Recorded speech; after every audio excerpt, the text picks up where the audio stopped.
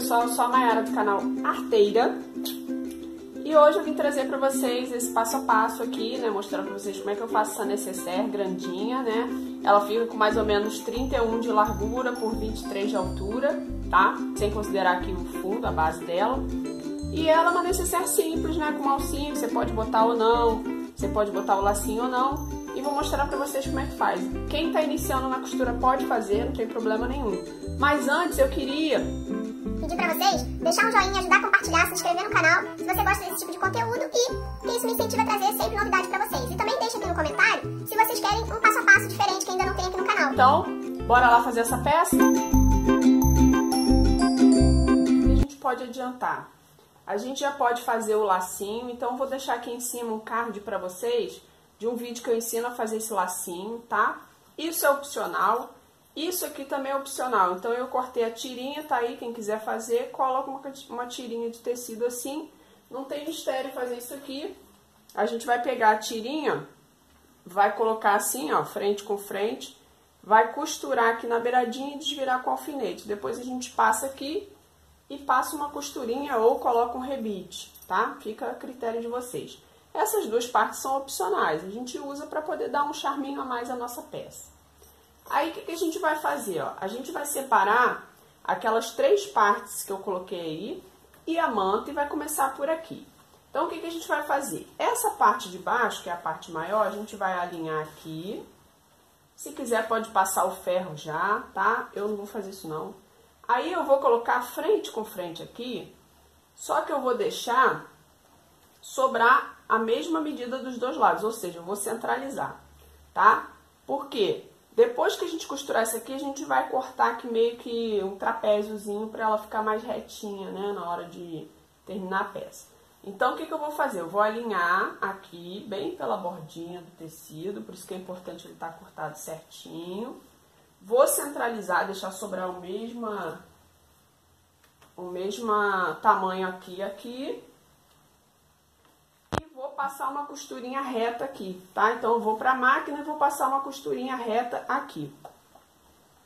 Feito isso, a gente vai abrir, tá? Pode no ferro passar, ou pode vir aqui esticar bem com alfinete, ó. Estica bem, joga pra cima. E a gente vai repetir o procedimento aqui, ó.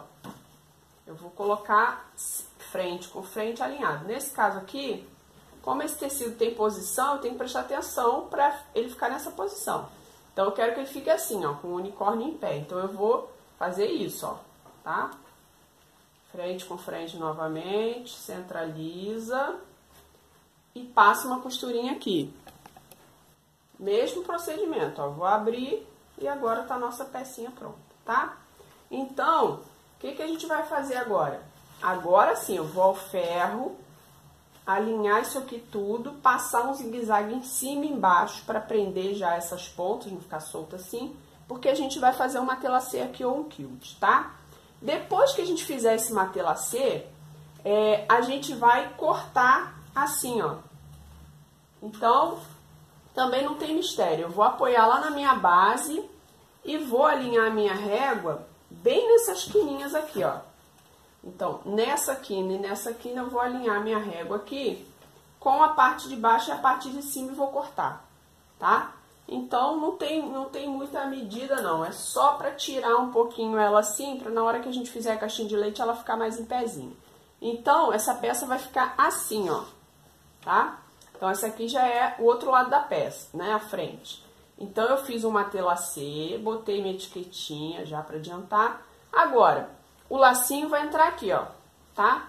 Agora, nada me impede, se eu quiser fazer um pontinho decorativo aqui ou colocar um enfeitezinho aqui, também posso colocar, tá? Fica a critério de vocês. É, é aquilo que eu sempre falo, enfeitar o pavão aí é com a gente mesmo, né? Aí a gente escolhe, vai fazendo, tá? Às vezes tem uma sobrinha de um aviamento, já aproveita e coloca, tá bom? Então, eu vou adiantar o outro lado, esse outro lado aqui eu vou deixar igual a esse. Então, depois que eu cortei, eu posso até usar esse aqui como molde para cortar o outro lado, tá bom? Que elas têm que ficar do mesmo tamanho certinho. Então, eu vou adiantar isso aqui e já volto para fechar a peça com vocês. Depois que a nossa parte está pronta, ó, então eu fiz aqui, é, é, cortei do mesmo tamanho e coloquei aqui uma cianinha, uma rendinha para enfeitar, tá? Então agora a gente vai fechar e vai fechar igual fecha qualquer necessaire. Eu vou deixar o lacinho para colocar no final, por quê? Para não fazer volume na hora de fechar, tá? Então a gente vai pegar uma parte da frente, vai colocar o zíper, ó, frente com frente, assim, tá? Quem quiser já pode passar uma costurinha de segurança. Eu já passo direto com forro. Então eu vou pegar aqui o forro também, vou colocar frente com frente. Ó, não cortei ainda o forro do tamanho da, dessa parte, mas depois a gente vai cortar, tá? Então, eu vou colocar aqui, ó, zíper, frente com frente, forro, frente com frente, vou passar uma costurinha cá em cima, prendendo todo mundo. Depois eu vou desvirar para rebater. Passada a costura, ó, a gente vai desvirar assim, ó, joga lá para trás, ajeita bem. Se quiser, já prende com o alfinetinho aqui, ó. Ó, tá vendo? A gente vai rebater aqui, passar uma costurinha, isso é pro forro não ficar subindo, prendendo o zíper. Depois a gente vai ajeitar aqui e cortar esse pedacinho, essa parte que tá sobrando, tá? Ó, depois que eu rebati a costura, tirei o excesso aqui do forro, gente. E eu gosto de deixar para tirar no final, porque se a gente já corta na medida, se escorregar na hora de costurar, ele não vai bater certinho aqui. Então, eu deixo para cortar o excesso depois, porque ele fica certinho, tá bom? Então, agora a gente vai pegar a outra parte, ó, essa parte vou fazer o mesmo procedimento. Vou colocar frente com frente. Agora eu vou ter que alinhar certinho aqui a beiradinha. Então, vou colocar aqui frente com frente, ó. E vou fazer o mesmo procedimento. Forro, frente com frente. Então, fica um sanduíche, ó. A frente, essa parte frente com frente. E o forro também frente com frente, tá? Mesmo procedimento. Passa a costura lá em cima para virar, rebater e depois tirar o excesso do forro. Então, recapitulando, ó, passei a costura, agora eu vou virar e vou rebater é esse forro aqui com essa parte aqui. Então, vou fazer o mesmo esquema, ó, vou alfinetar aqui. Se você quiser trabalhar com zíper separado também, aqui, você pode abrir ele, depois você junta no final. Cada um tem uma maneira de trabalhar. Eu já gosto de trabalhar assim, tá? Então, mesmo procedimento, ó, vou rebater aqui, né, vai prender o nosso forrinho, tem que verificar se ele tá bem retinho, ó, que ainda tá meio folgadinho. Você vai lá, puxa bem, ó, puxa ele aqui embaixo para rebater. Depois tira o excesso, aí depois que a gente tirar o excesso, a gente vai colocar o cursor. Então, eu vou colocar um vindo daqui e um vindo daqui, tá? Pra ficar com dois cursorzinhos aqui. Muito bem, muito bem. Acertei, coloquei o cursorzinho, deixa um pouquinho aberto aqui, tá? Pra você, pra facilitar na hora de virar. E fiz também, ó, como só tinha sobrado um pedacinho pequenininho do meu tecidinho lindo de unicórnio, eu fechei uma alcinha, tá?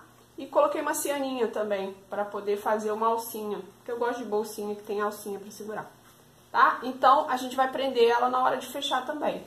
A gente vai vir aqui, ó, vai colocar frente com frente, forro com forro. É claro, gente, que nesse caso, como tem faixas, a gente tem que alinhar bem bonitinho aqui, ó, porque senão fica feio, tá? Se ficar torto aqui, fica feio.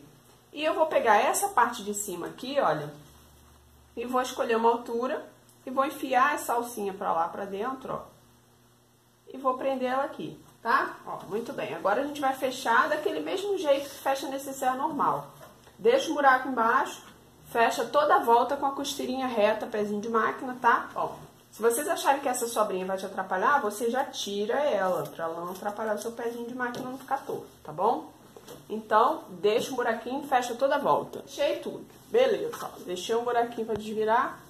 Agora, eu vou pegar meu quadradinho mágico de 4 centímetros, tá? Que eu vou marcar a minha caixinha de leite. Aí eu vou posicionar aqui, ó, a margem dele com essa margem de costura e com essa e vou marcar nos quatro lados. Então, nesse lado de cá, certo? E no lado de cá. E vou arrancar isso aqui fora, vou cortar isso fora. Isso aqui, gente, para quem tá iniciando a costura, é o que a gente chama de caixinha de leite, tá? Ah, outra coisa. Gente, vocês podem esquecer a comida no forno. Mas não esqueçam de passar, reforçar a costura no zíper. Também é bom deixar sobrar um pouquinho para ficar mais seguro, tá bom? Essa parte aqui. Olha, pessoal, depois que eu cortei fora aquele quadradinho, a gente faz isso, ó. Abre aqui, posiciona a costura com costura, tomba uma pro lado, outra pro outro e passa uma costurinha aqui. Ela fica assim, ó, tá? Pra fazer aquele formatinho da nossa necessaire, certo? Só que depois que a gente fizer isso aqui, eu vou colocar um alfinete. Ainda tem outro pulo do gato, que a gente vai prender o forro no fundo da peça. Então, a gente vai fazer isso aqui, ó. Vou pegar aqui pela lateral, vou pegar esse forrinho aqui, vou encaixar ele aqui, ó. Aqui, tá? E vou passar um zigue-zague na beiradinha prendendo. Depois eu vou fazer o mesmo procedimento, olha. Não ficou essa parte aqui? Trago esse forro pra cá, tá? Cuidado para na hora de trazer você não retorcer ele assim, tem que trazer ele na mesma posição. Então tá assim, você vai pegar esse lado e vai encostar ali e vai fechar aqui. Isso vai fazer com que o forro fique preso lá no fundo da peça, tá bom? Na hora que a gente é, ficar botando coisas e tirando, aí o forro não fica subindo junto, tá bom? Então, como eu sempre falo, essa é a melhor hora, né? É a hora de desvirar a peça, né? Também é a hora que bate aquele frisinho na barriga, né? Mas é a melhor hora.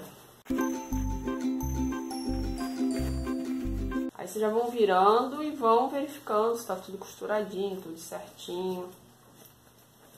Gente, queria convidar vocês a se inscrever lá, me seguir lá no Instagram, vou deixar aí embaixo, tá? Ajuda pra caramba a divulgar o trabalho da gente, ajuda a compartilhar também. Então tá aqui a peça pronta, só tá faltando o nosso detalhezinho, ó, lacinho que eu posso colocar aqui ou aqui, tá? E tá aí nossa peça pronta. Espero que vocês tenham gostado. Um beijo até o próximo vídeo.